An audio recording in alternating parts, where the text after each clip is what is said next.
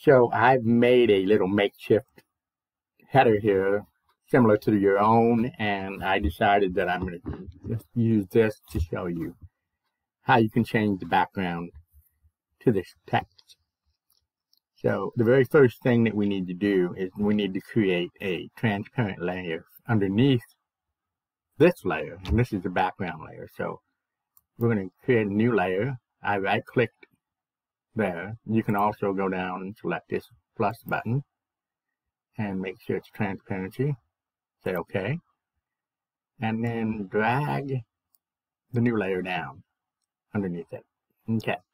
So that's that that step. So let's go on to the next.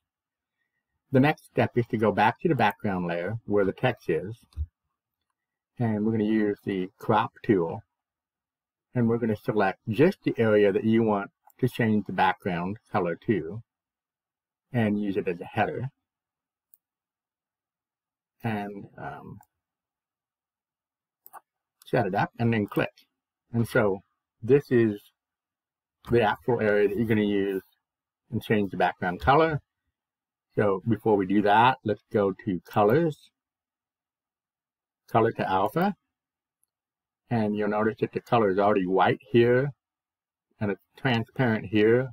We're going to say OK. And then we're going to go to the rectangle select tool and we're going to select the very area that we want the background to be green or whatever color you want it to be. We're going to select that. And then we're going to select the new layer that's underneath the text. And then go to the bucket fill tool and make sure the proper location for the color is selected here. Foreground green, foreground.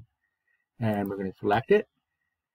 And now you have a green background underneath the text that you will want to use. So at this point, you can say select none. And then you can come over here and select the background, right click it, and merge down. So now you have your header there with a different color background. So that's how it is done.